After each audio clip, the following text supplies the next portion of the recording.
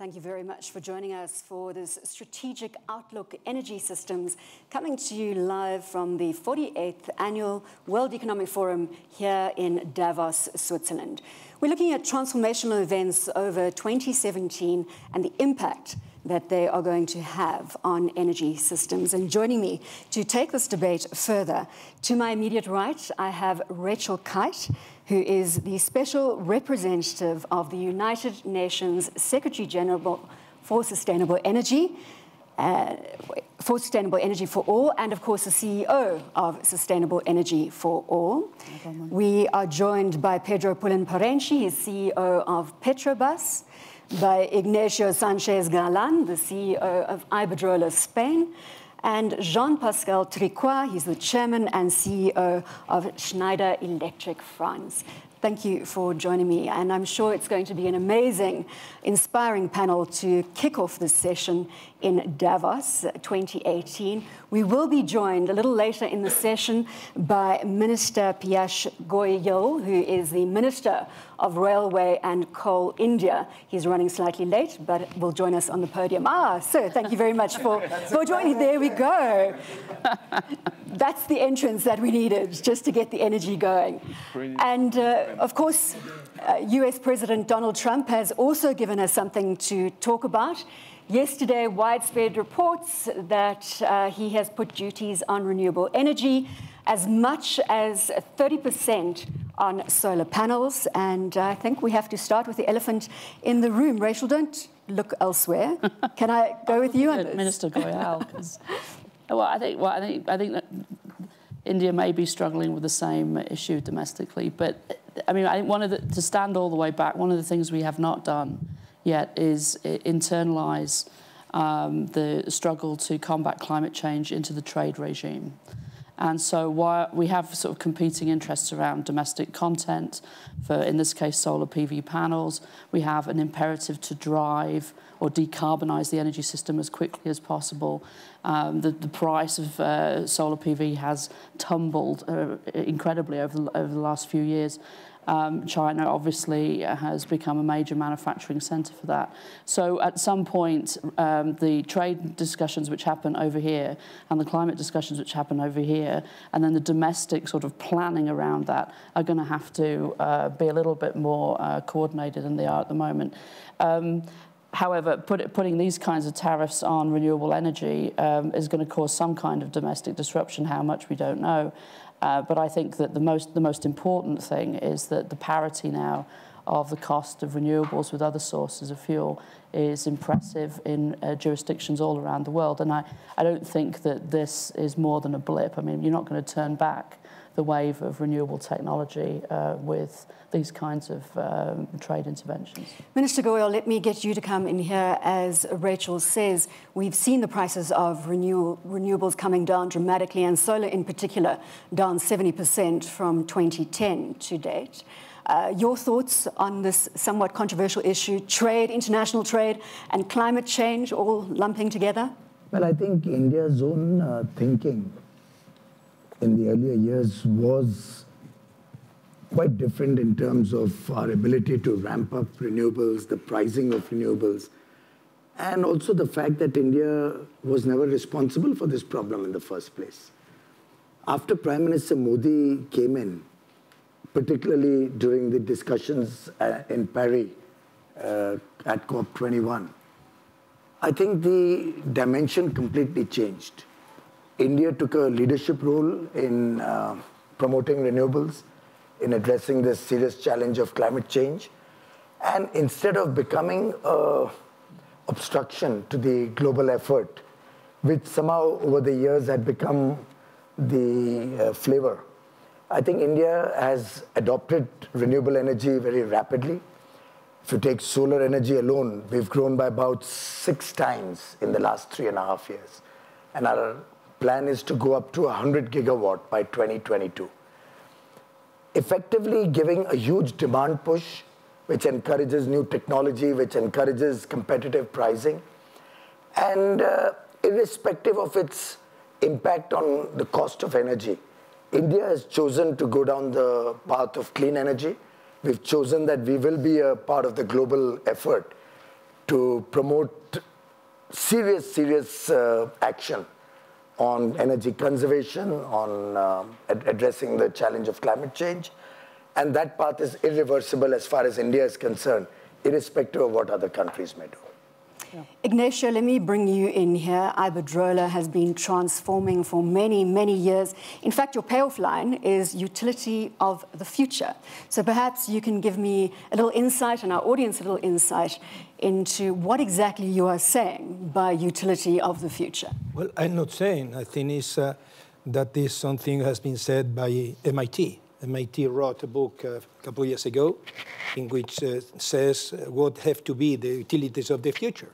And it describes the utilities of the future, those one which transforming the power generation for fossil fuels into renewables, those ones which are investing in, in, in, networks, in grids, just to be able to manage uh, in a most digital manner much more distributed energies, and those ones which are investing in storage. So storage because uh, the renewables by nature are intermittent, so I think the wind never blows, not always blows when it's needed. The sun not always shines when it's, uh, shining when it's needed, so you need to store that in one manner or another one. And that is precisely what we've been doing during the last uh, almost 20 years.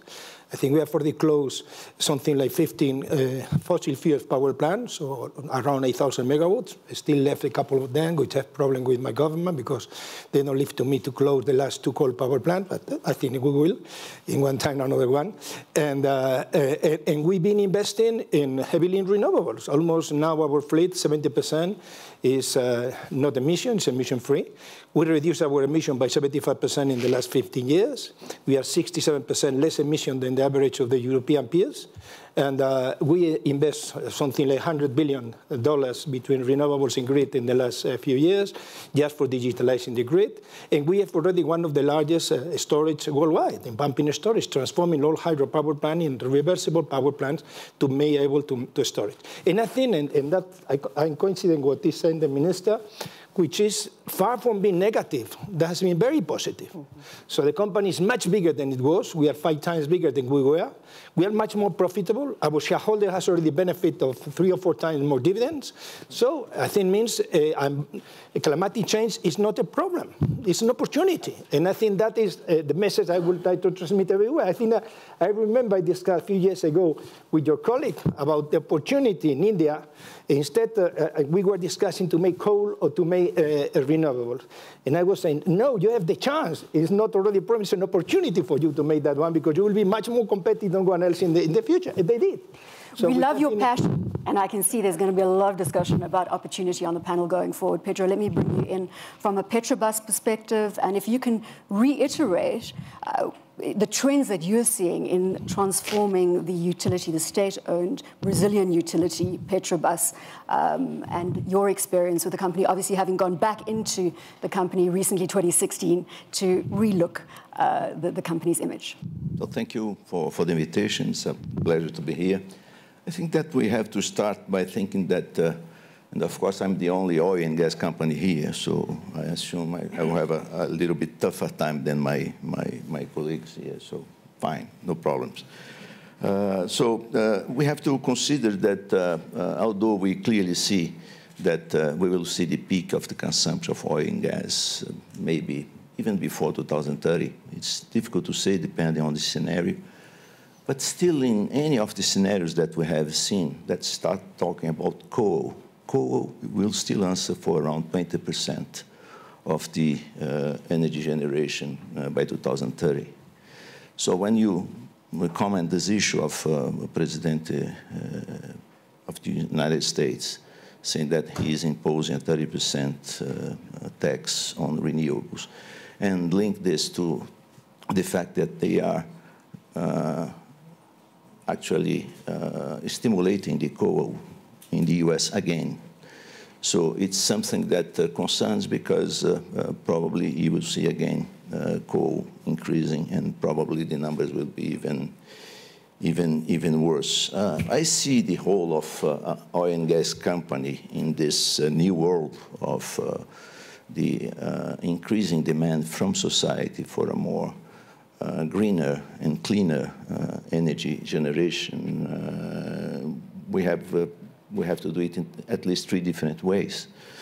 uh, first through innovation. So it's uh, really important that we use innovation and uh, innovation uh, not only in the, uh, in the use of the energy, but in the generation of uh, energy as, uh, Pedro, well. if I could just bring you here. So it's really new technology when it comes to, to oil and, and gas effectively. That's what you will be driving extensively. Yeah, it's, it's very important. i will give you an example. So uh, we are now exploring fields that are a very high level of CO2. So what uh, we are doing is re-injecting this CO2 in the fields. And this has a double effect. First, you are not uh, launching this CO2 in the atmosphere. And second, you increase the pressure to extract only oil in, from the fields. So this is uh, uh, just one aspect or one use of uh, innovation uh, we can do. And of course, another use is to reduce uh, very, let's say, very sharply the, the footprint in our production in relation to, to the CO2. So we had a 20% reduction between 2016 and 2014. Just one more big focus on, on reducing methane leakage as well in terms of new technologies? Oh, yes, leakages. I mean, uh, if you look to the, let's say, all the improvements, uh, all the industry had after the problem uh, we had in the Gulf of Mexico, you see that uh, really uh, the technology has improved a lot. So when we look to the indicators that we follow that very closely every minute, not every day, every minute. I mean, the reduction is around, uh, I'm talking about small uh, leakage, I'm not talking big leakage, but the reduction is 95, uh, almost 100%. Well, to follow on that conversation from an innovation technology perspective, of course, Schneider Electric, a big player in innovative technologies, in energy management systems, automation um, of homes, buildings, cities. Let's get your thoughts on, and, and let's bring this debate back now to the strategic outlook for energy systems. The transformation that you've seen in 2017, Jean Pascal, that is going to have corresponding impact on energy systems as we go out from Davos. Well, I, I, I think 2017 has been a quite pivotal year. You've seen at least three acceleration. Uh, the first one is a massive acceleration of digitization uh, to the benefit of efficiency. And, and, you see it in many things that have been evocated here, like the smart grid. If you want to share better energy, the whole, the whole chain of energy is quite inefficient, in fact. At, at, all levels. You take today a study saying building 80% inefficient, industry 60% inefficient. So the convergence of energy together with digitization allows to make immediate gains of efficiency of 30 up to 70%. So that's immediately available. And what you don't consume is actually the greener, the cheapest, the fastest kind of energy you can generate. Second one, of course, is sharing better. It's better to consume when energy is cheap, green, plentiful, and when the other guy next door is not consuming it. So that the smart grid and where utilities particularly have a, a huge responsibility in being, uh, being the conductor. Third point we've seen accelerating because of everything you mentioned, like uh, prices of renewable storage going down, and, and uh, is, is decentralized generation. So prosumers, professional consumers saying, I want to generate uh, a part of my energy locally close to my place. So microgrid, renewable, storage, all of this. On, on, uh, so you've seen massive acceleration of digitization, massive acceleration of those decentralized generation uh, solutions with pivotal year 16 where the investment in renew renewable was higher than uh, in fossil. And I would say massive acceleration of electrification. I think 17 is the place where people say cars will be electric to a very large extent. On, on the car being electric means a lot of implication for the rest. We, with uh, Francesco Starace from Enel, we are co-chairing a group here of study on, at the WEF about the grid edge. I mean, what is happening beyond the grid? And we think that the biggest transformation will happen here because all of those technologies could give a new empowerment uh, to companies, to users, to consumers, and people want to embrace the changes. And as we know with mobile phone, changes happen through them. The cars becoming electric are a source of storage, they're a source of exchange of energy, which is coming to the place where you live, where you work. And that is another massive change that pushes that acceleration of electrification, digitization, and decentralization. And we combine those technologies together into integrated architecture. And we work with all the companies here to make sure that they reach their objective. According to the International Energy Agency report, expenditure on electrification, as Jean Pascal has just put to us, is now at parity with expenditure on oil. And uh, that out recently, Rachel, for 2016. This is the first time we've seen that shift. Your, your thoughts, because that, that is one of those points that is moving us along in the conversation, and we've got tangible results coming to fruition. So I, I think what, what, the, what the IEA is pointing out looking backwards is, is, is what we see happening in the market. So we're seeing more and more investment in, into the revolution in renewables. Um, and that's global. So the investment is in emerging markets and fast-growing economies, more so even than in the OECD. And there's a, I mean, there's a debate around the ambition levels of the European Union and other OECD countries, uh, which could be had. So we, so we, see the, we see that interest. We also see the hesitancy of investors around their tail risk in heavily, heavily carbonized industries and in carbon, uh, carbonized energy. So you've, you've seen what started off as a sort of divestment movement now becoming something that the insurance industry is really looking at. You've seen some fairly significant announcements. And I think just last week, Lloyd's sort of came out with its announcement about uh, its holdings in, in fossil fuels. So you're seeing people beginning to realize that what Jean-Pascal talked about, this, this decarbonisation, this digitalisation, this decentralisation is offering up a vision of a very different set of energy systems for the future. And that's where investors want to be. Think the question is really how fast is this going to go and how globally will it go and will it encompass everyone? Ignacio, let's talk about policy and how important policy is in impacting energy systems in a positive way. And perhaps you can talk to some of the key policies you've seen coming to fruition of late. So, well, uh, first, uh, I think I would like to say, my friend Pedro Parente, that uh, it's not uh, a fight between oil and gas uh, toward electricity. I think oil and gas, they have to play their role, and electricity have to pay their own. So I think for years, and I, I, something I'm saying for the last 30 years, has been burning uh, some raw material which is tremendously valid, has been already generated across millions of years, which is oil. And I think we are using with the lowest added value, which is just burning. So uh, I think oil and gas uh, and sugar has a very good future as raw material for a lot of processes, a lot of things in all areas. From Pedro feels much better now.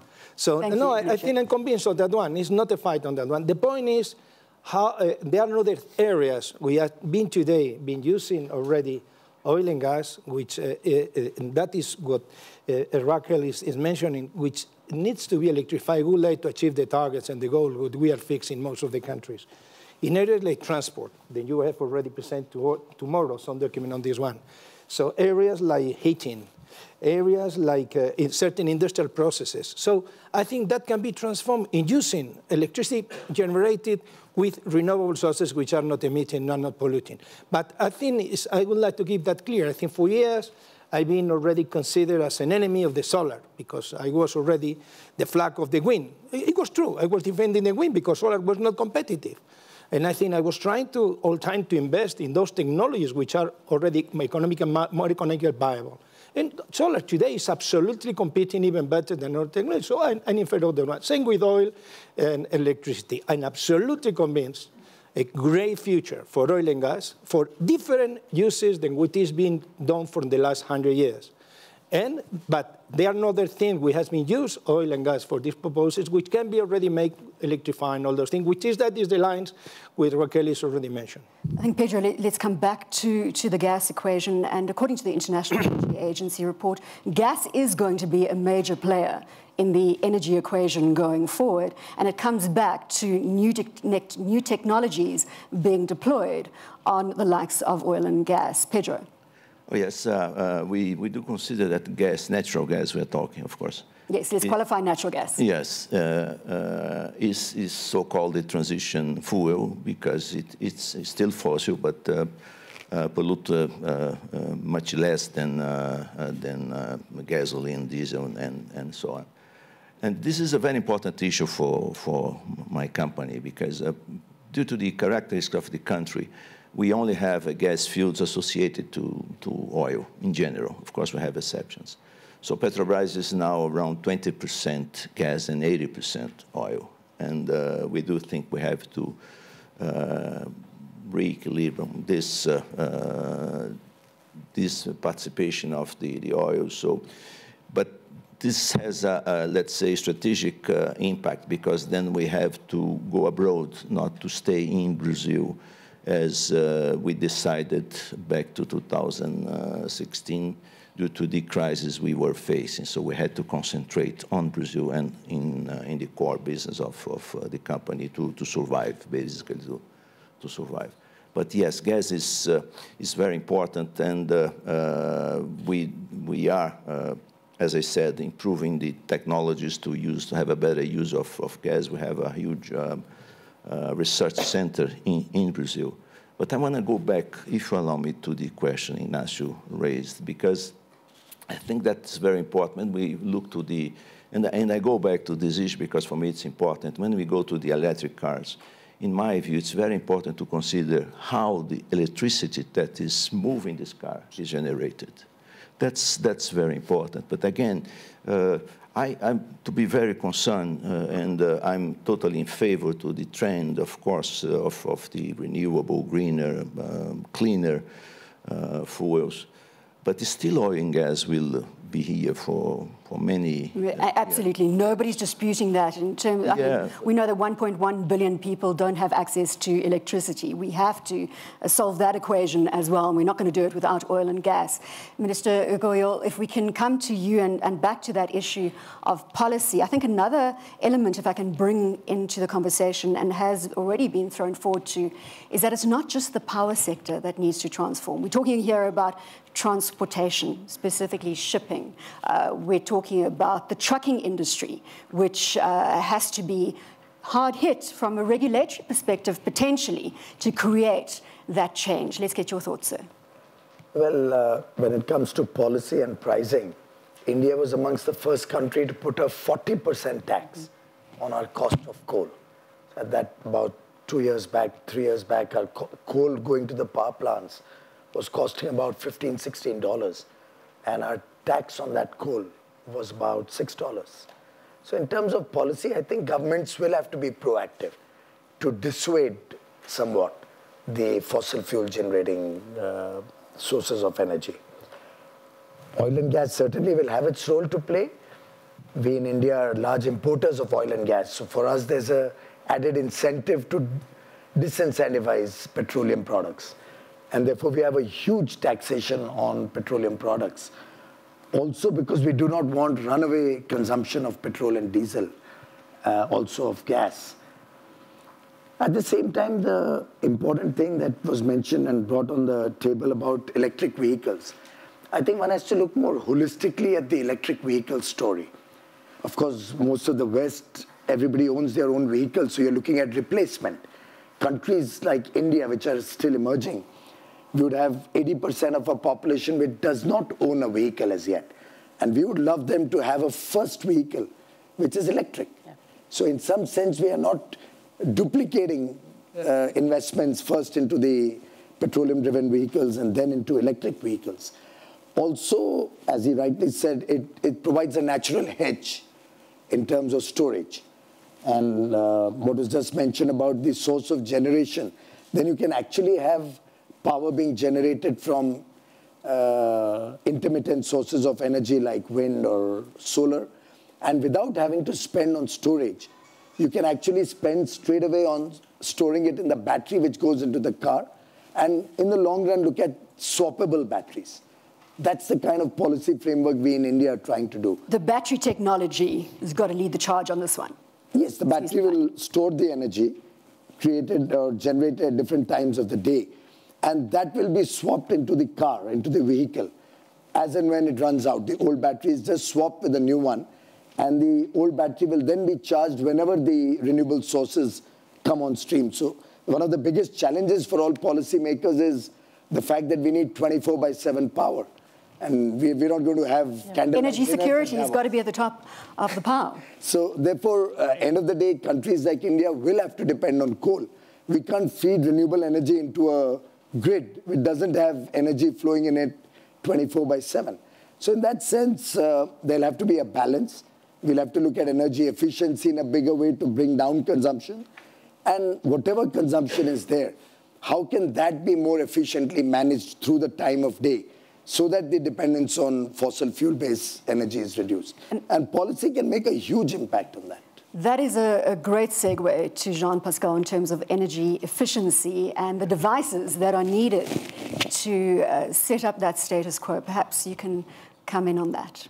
I'd like to take on from India because I, I, I think it's a, it's a, great example of that multiplicity of solutions. If you take our case, we've digitized the biggest oil re refinery uh, in India to make it safer and more efficient and those kind of things. I think today we are powering 25% uh, of the renewable installations in India at the same time, and that's complementary.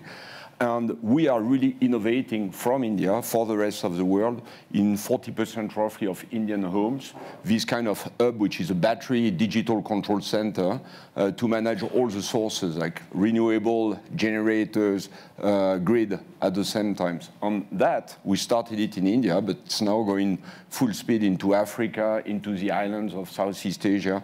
So we are inventing a future uh, altogether, which is significantly uh, different from, uh, from what we had before. See, what, what, what I want to, uh, we always speak the traditional um, uh, problem in energy that we always speak about supply, which is ideological. Okay, coal, gas, oil, nuclear, renewable, right? The biggest change will come from the edge, from the consumer. I mean, people, young or not young, they want to have their solar panels on their home. They want their uh, company to be green. Well, just think about it. You have 100 companies in the world, the uh, RE100, who committed to be 100% renewable not so long from now right? You have more than 100 companies in the world, the EP, uh, Energy Productivity 100, who have decided to cut their energy by unit of whatever turnover uh, in uh, 10 years from now. Uh, you have all those commitments on pledges. We have made a study recently uh, with a few hundred of companies. 80% have a plan for energy efficiency based on digitization. Same thing three years ago, 30% okay? 50% have a plan for microgrid, renewable, and those kind of things. 20% only still have a plan for demand response, but that's accelerating. So that movement coming from the user and not from, from, uh, from, from the generation is huge, and this is probably the one that will drive the, the thing. And if you allow me, so I think what is done in emerging countries We'll also transform it because innovation is coming from taking a blank sheet of paper and starting anew with completely different solutions. Jean-Pascal, I love the switch from the supply side to the demand side and the role that the consumer ultimately is going to play in the energy system going forward. And, and Rachel, this is very close to your heart, especially where energy efficiency is concerned and what the consumer ultimately can change from a consumption perspective. So, so to pick up where Jean-Pascal left off, I, I think we're, we're, talk, we're at this point, 2017 was a year of acceleration, right, of, of moving from, you know, centralized energy systems that got as far as they got, that were mainly powered from fossil fuels, and, you know, the grid was the grid and inefficient as it was or whatever, to, you know, this very decentralized um, set of energy systems that we can only just begin to imagine, right? I think there's all kinds of innovation that is coming that will be truly transformative. And one of the problems that we have is that for decision makers, policy makers, business leaders, community leaders, um, at the local as well as the national level, they, they are operating off a sort of energy um, industry, um, including the international organizations in this space, that you know, continue a, continue a line extrapolated out from the past. The past no longer predicts the future. And so the fact that IEA has been wrong around its estimation of renewable energy penetration for the last 17 years. 17 years ago, that was maybe something that you know, a few of us could discuss and there'd be a little bit of banter. It's now very dangerous because for, for emerging countries, uh, there's a very big difference about whether or not you think that renewable energy, together with storage, is an investment option that's real and tangible and there for you and is going to reach, you know, a considerable portion of your potential energy mix, or whether you think it's only just going to get to perhaps, you know, a quarter of the energy. So I think there's, there's a moment when the energy organizations have to step back and say this world is a totally different one. It is one where consumers have power. It is going to be one where the 1.1 billion who don't have electricity today are going to be demanding it, and we can provide it, and we can provide it in very different ways than we can in the future. And then there are other issues like clean fuels for cooking. Again, 3 billion people in this world today who can't cook cleanly. You're only going to talk about basic services that we have failed to meet. You were very outspoken in a 2017 interview in September on the clean clean cooking, uh, energy, environment, and the lack of investment in that space. Bring your passion to bear on why people aren't investing in the clean energy space. You've just put the stats on the table. Well, so so it's just under three billion, 3 billion people today can't uh, access clean fuels for cooking or a device that would allow them to, to, to cook. There are a number of countries, India being one of them, where this has become a political issue, championed at the very top, and you start to, to see progress. But we, we decided to look at where the investment is flowing into big fuels for clean, uh, big markets for clean fuels. By that we mean uh, natural gas, ethanol, LPG, etc. And then, of course, uh, uh, some of the new business models around pellets and ways to use biomass in a clean way. And we found that uh, despite all of the priority that's been put on sustainable energy, despite all of the priority over the last seven or eight years on clean cooking, almost no money was flowing into this sector, private or public, concessional or, uh, uh, uh or non-concessional. Um, in the countries where the, where the gap is the largest. And I think this is where the consumer, this, this is where the consumer meets the energy transformation. I, I need to be able to provide food for my family. I should be able to get access to affordable, reliable, clean fuel for cooking. And that cannot be beyond us as an energy, as, as people in the energy system. And so um, shocking because development organizations have been talking about clean cooking for a decade, and yet there's almost no money flowing. And the lack of innovation around the building of the markets for this you know, if we're talking about 2.8 billion people who can't clean, cook cleanly, and you think about all of the other things that they will be able to do if they could cook cleanly, that's a massive market. And I think that's go back to what um, my colleagues were saying. It's the opportunity rather than the sort of you know, dismal picture that this Minister transformation Goyal, offers. Solutions in this space in, in terms of encouraging that investment into clean cooking energy? We, we in India had a very, very serious challenge. Almost 100 million families, mm -hmm. which were cooking through traditional means, literally having firewood come in and cook or using even coal sometimes. And that was almost reaching a crisis proportion in terms of the carbon that that uh, created in the atmosphere. We embarked about uh, three years ago on a huge program to take LPG to each of these families. Uh, we've done about 35 million in the last three years. In the next one year, we'll do another 15 million. And in the next two or three years after that, we'll make sure that there'll be no family in the country which, you, which has to use that traditional form of cooking. But we've not rested on that. That's only an intermediate solution. I'm glad Rachel talked about it because only last night, Prime Minister Modi, while talking to business leaders, talked about, touched on this subject, that ideally would like to go to the next level now. And we must look at what we can do with clean energy or renewables and create cooking solutions. Right now in India, we have been doing a little bit of innovation using very, very simple technologies using the sun and trying to cook maybe Maggi noodles or stuff like that. But then that's just the beginning. Uh, the idea is that we'll ultimately have to take clean energy and electric induction heating into every home for cooking purposes. And that means the ramp up for heat will have to be really fast. So it's, a, it's I think, a challenge for all of uh, technology experts.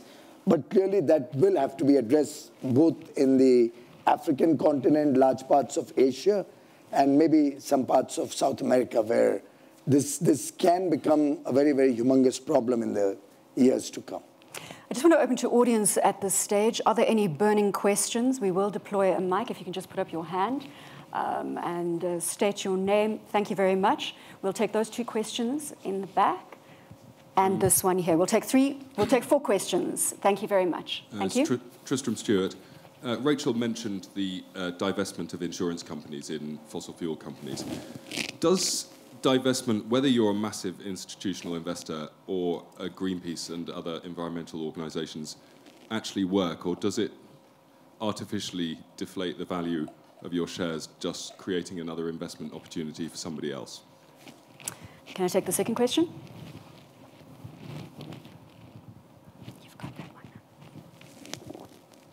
This is Karuna, a global shaper from the Port Louis Hub in Mauritius.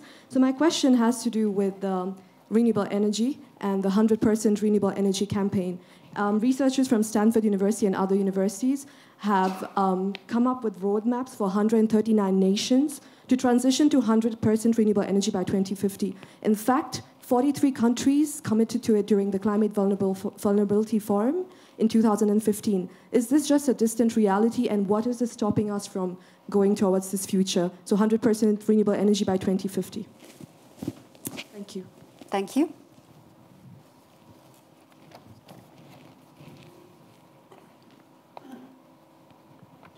I'm Mark Wrighton, Chancellor of Washington University in St. Louis.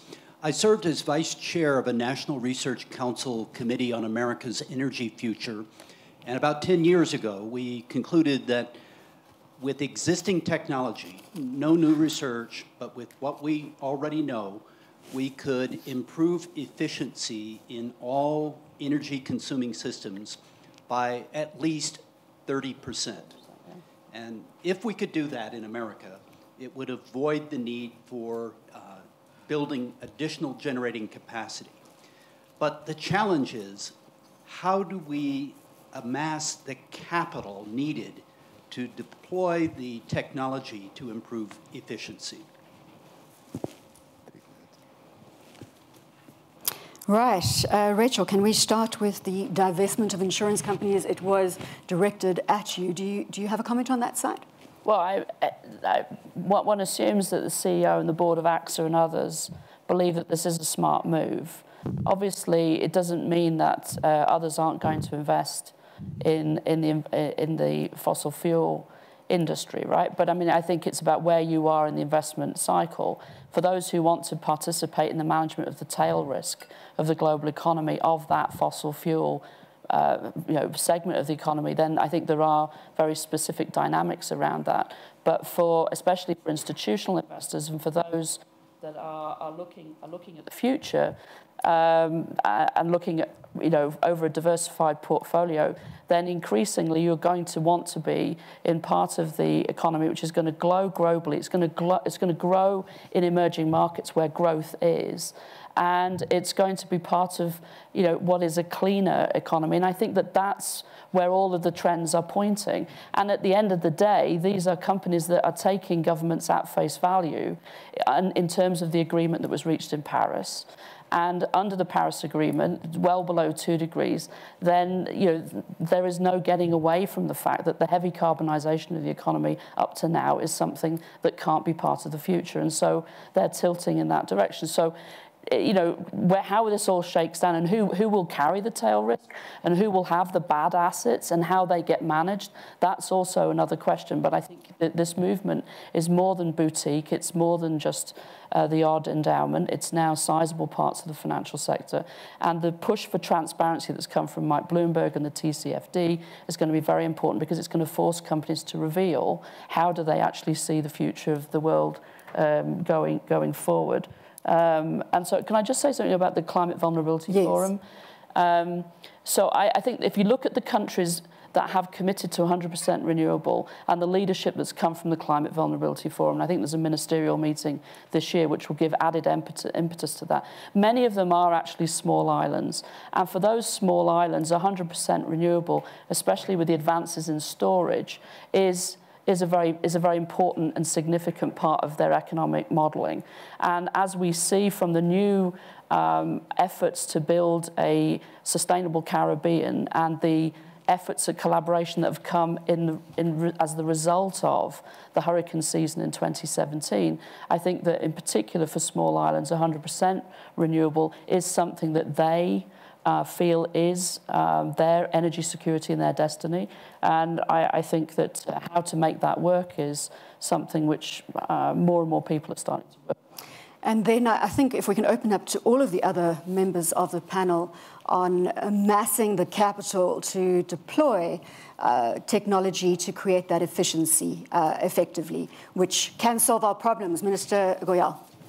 Well, I can share a very good example we have had in India, which will actually answer the question best. Personally, I believe energy efficiency is an absolute profit-making game. There's no cost associated. We had, uh, we've been using these incandescent bulbs for lighting in India for God knows how many years. And way back in 2015, we embarked on probably the world's largest campaign to replace all lighting by LEDs. And I remember uh, the government used to procure LED bulbs at that time at about $6 and add all costs and taxes and marketing costs and then subsidize it to make it viable proposition for the people. We decided on leveraging on economies of scale, huge amount of transparency in procurement, and we set a target to replace 700 million bulbs with LEDs in a span of four years. I'm delighted to share with you that it's not even three years, actually 5th of January 2015, so we've just completed three years uh, two weeks ago of that program. We've replaced 800 million bulbs with LEDs in the country, and the price has fallen by 87%. I mean, I go to many parts of the world, and uh, power ministers, energy ministers thank me for India's contribution to bring down the prices. Price down 87%. 87% down. So today, and by the way, I bought 50 million LED bulbs from Philips.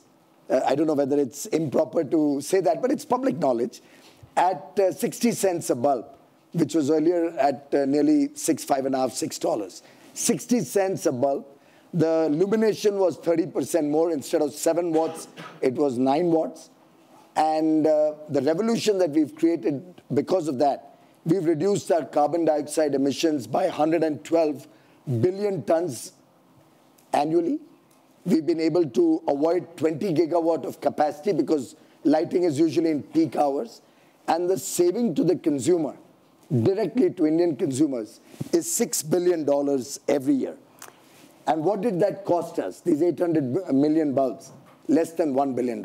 Jean Pascal comes back to the consumer. Yeah, I, I would like to, uh, to add to that. You, you even forgot to say that it's much more reliable. You don't have to change a bulb. Absolutely, uh, for so, several years. so in terms of OPEX, it's, uh, it's even lower. So it's win, win, win, win, win. And it's only 10% of the consumption of a building. Um, and then there is all the rest. You have your IT, which is consuming a lot. You have the HVAC, which is consuming a lot. You have the same potential by applying simple digital technology. So I, I really don't see the problem uh, with capital, uh, if I want to be very provocative, at all.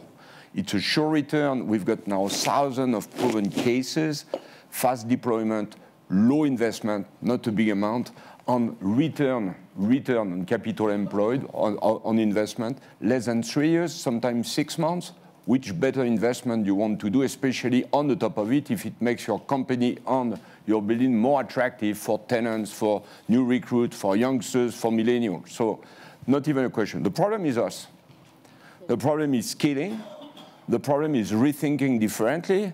The problem is, is going, transitioning from traditional technologies for efficiency to modern uh, technologies. It's about deployment. Where are the schools training today massively people on digital technologies for efficiency?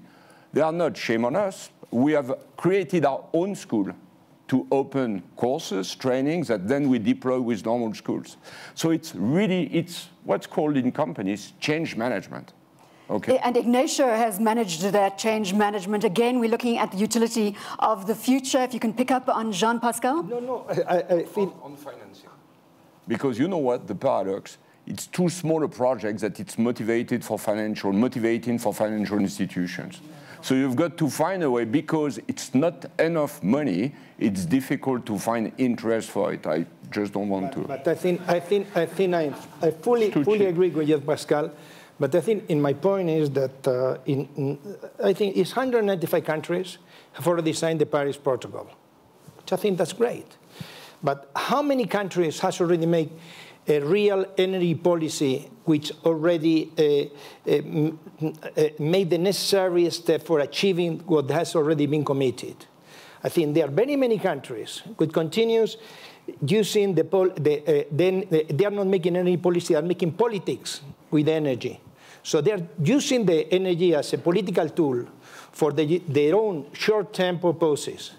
And they are not already making a long-term projection in which all these things that Jean-Pascal is saying, things would have to overpass of their uh, times of their mandate. And I think that that is unfortunately what is happening. I think if you see, I think Paris, I agree, everybody. Now we have in Europe, the European uh, Commission is already making just a certain uh, a, a, project, what they call uh, the winter package, clean energy for all Europeans, has been well discussed. But there are tremendous discussion between the Parliament, with like certain things, the European Parliament, a member state, with they would like another thing because they have their short-term interests, etc., etc. And I think, in my, in, my, in my view, is that today exists technologies for being much more efficient, Today exists technology for making much more uh, uh, sustainable use of the energy. Today exists uh, technologies which are already make much more uh, economical competitive power generation and distribution. But there are people still, because the short-term interests, which are defending 19th century policies, because they don't like to uh, afford and to fight uh, and to jump into 21st century. And, and I think that that's a gap. I think I was discussing a few years ago with some of your colleagues on this respect. I think because of the mining industry, because of the competition of technology, fossil fuels, etc., they were not able to jump. India jumped. Said, now we would like to go out. And we decided to make already huge investment in, in, in, uh, in, in, in, renewables, solar, wind, etc., etc. They create their industry. They are making all the things they are making. But their countries still are defending old-fashioned technologies because of the short-term interest. So I think if I can say something, is uh, we have to stop to making policy with energy, and we need to make already energy, real energy policies in the countries with the long-term strategies, which in many countries uh, doesn't exist. And we are seeing in countries, uh, developed, uh, uh, not developed countries, everywhere the same thing. Pedro, as the oil and gas voice in terms of Petrobras. Can you come in here? And then we're going to go to concluding comments from our panelists, uh, setting the stage for strategic uh, energy systems going forward for the next couple of days of debate. Okay. Uh, I would like to start talking about uh, uh, the country, but whole, not by only the oil gas. And Brazil, in, in my views, I mean, doing a lot of uh, good things in terms of the, renewable and we had, uh, for instance, the, the, ethanol program for maybe 30 years is a very successful program. I mean, we have the fuel cars that you can use both for gasoline or, or ethanol. But uh, I think it's important to mention that uh, in terms of the electricity, we have uh, a lot of uh, wind generation. In, for instance, northeast part of the country, in some moments of the day, uh, the wind is responsible for more than 50% of electricity generation in that region. So and now starting, I mean, the solar generation because it's becoming more, uh, more economic. So going back to the issue of uh, the, the efficiency and the profitability, uh, what we are seeing in Brazil is that, I mean, uh, it's more and more not an issue uh, for, for the, the question of the subsidies uh, from, from the government. Of course, there is still a long way to go. in terms of our, our industry, uh, what we have to do is uh, to invest again in, in technology, in uh, innovation, and uh, the way we think we can uh, uh, go faster because it's very difficult for big companies to change mind. It's not only a question of, of um, I mean, investment mind, but it's a mindset. so what we are going to do is to put in place an investment fund, investment fund for, for venture capital, to hire small companies because uh, we do believe that by doing that, uh, uh we may have a much uh, faster and uh, better ideas on how to improve in digitalization or, or more efficient uh, ways to use energy or new ways to generate energy. Uh, and we are doing this now. So, I mean, uh, uh, not forgetting the, the, the, I mean, the oil and gas uh, discussions, but looking to, to the future on, on, on investing in technology and innovation because that's the way to go ahead.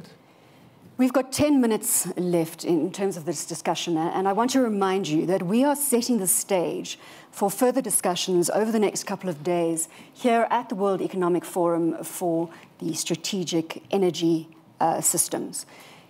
We were asked at the beginning the transformation that happened in 2017 that is going to have a corresponding impact on those energy systems.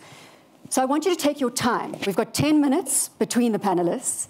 I want you to leave our audience, both here and across the African continent, and of course those via web watching this broadcast, with the key elements as you deem them appropriate for the discussion on energy systems as we go forward for the next couple of days. This is your time to shape the conversation. You're all passionate. The stage, sir. Well, taking a cue from the discussion earlier about a world by 2050 which is 100% clean energy, my own sense is it fits in very well with the theme of Davos this year a shared prosperity in a fractured world. If one was to look at uh, energy consumption patterns, instead of taking the country as a unit, mm -hmm. but taking the world as a unit, and transmission costs have, over the years, come down. They're more affordable now. There you have transatlantic uh, and trans-ocean uh, transmission lines coming up. You have wind being generated at different places all over the world at different times of the day. Solar being generated at different times of the day. If one was to imagine, and I don't think it should take us 32 years to get there, one can really, if, if we all put our combined might together, and work like we did in Paris, where the 195 nations really collaborated in that effort. Everybody brought in their INDCs on the table. Save and except a few, most are working towards achieving that. If we were to look at the world as a grid, and in some small sense, we in India successfully experimented with one nation, one grid in the last few years. And therefore, I can say with uh, some sense of background that if we were to look at the world as one grid and look at tra transporting or transferring power to demand areas at different times of the, of the day, we could actually transition much faster to a low-cost future for energy, for a future where you could look at 24 by 7 clean energy powering the world. And I think, as uh, Pedro rightly said, innovation, technology won't take that long once the dimension is set that despite all the issues where we have a fractured world, at least on addressing the concerns of climate change, we are one. We're going to share our technologies. We're going to work together as one family and ensure a bright future for the next generation. I like that, looking at the world as one grid when it comes to energy systems. We are one. Jean Pascal. So my, uh, we're, we're going to keep investing in India. right? Um, now, if uh, I, I, think we should realize we're at inflection point uh, on that electrification massively uh, increasing. Now, that's not going against oil. It's, it's another reality, but really accelerating. Again, and I spoke a lot about it, digitization on decentralization. This has one uh, massive impact, which is consumers are in charge of what they want to do. Uh, what were things that was taken for granted in the past mm -hmm. is not the case anymore. And they've got plenty of elements on their phone in real time. Uh, and that will be augmented by one thing which is really accelerating also at the moment, which is artificial intelligence, because it will make it simple. Uh, AI is a new uh, user interface. It's what brings you what makes sense to the data which is, uh, which is collected.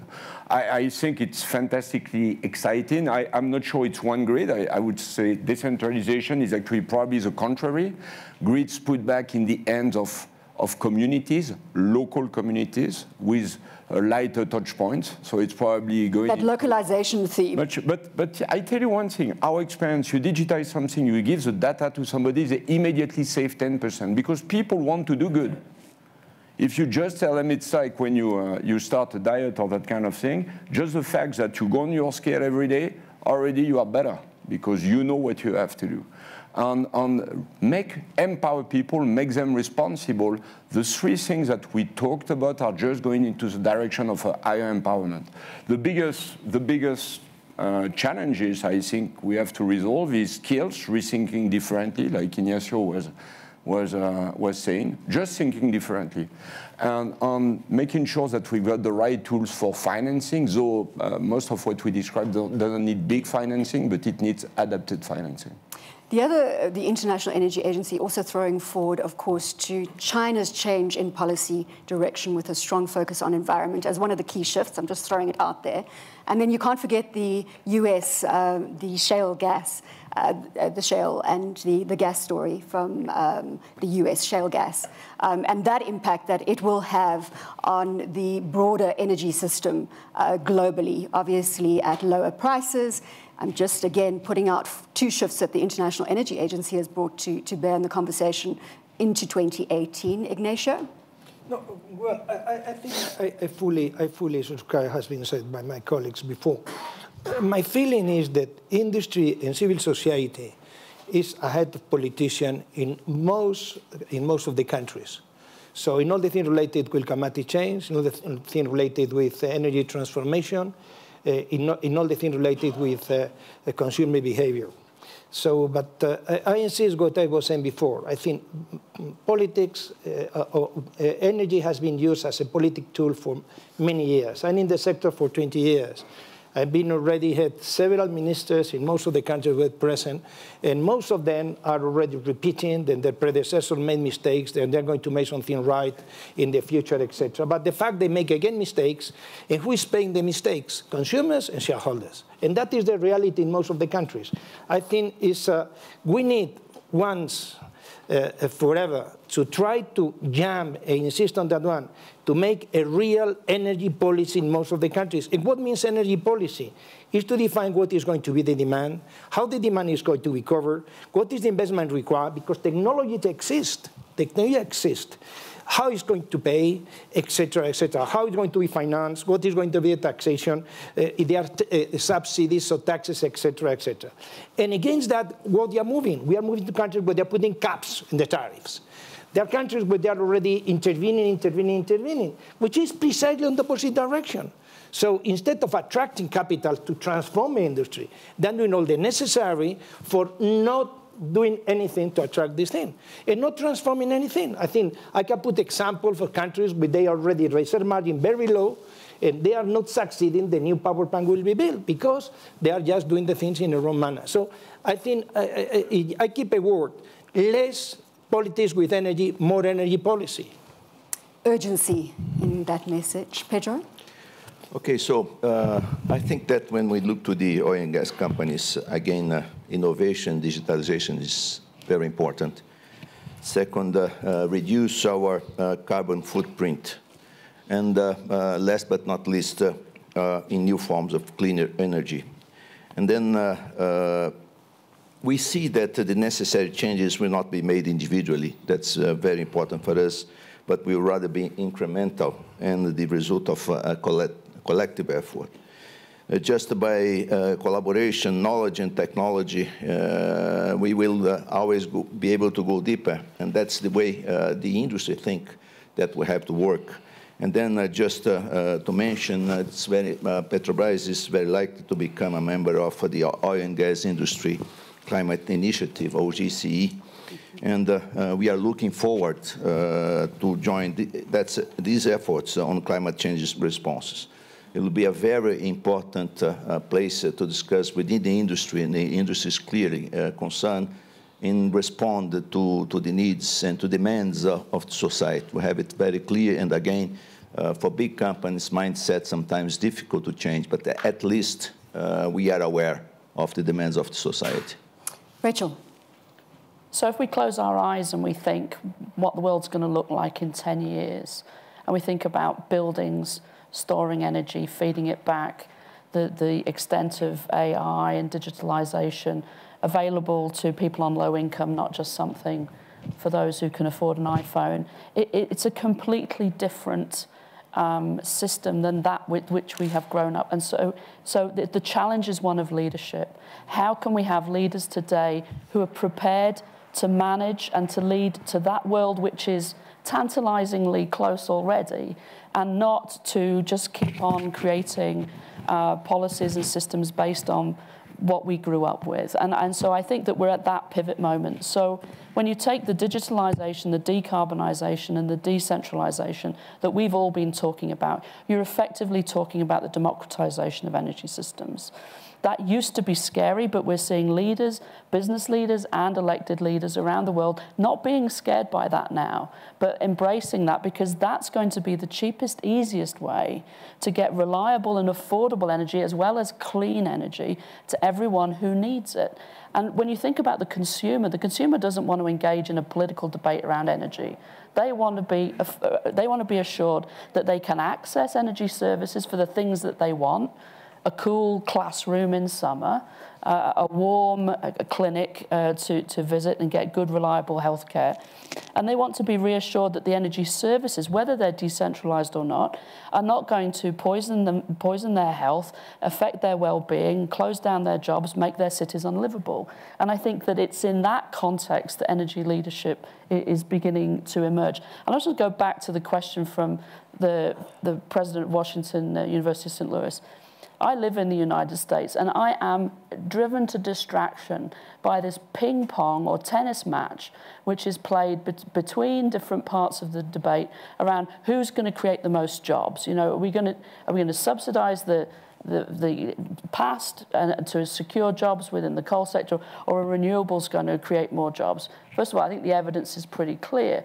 What we never discuss is in red states or blue states, what Schneider Electric and Johnson Controls and everybody else can do, community by community, in assuring that 40% of the emissions reduction is going to be achieved by efficiency and, and a total government approach to energy productivity.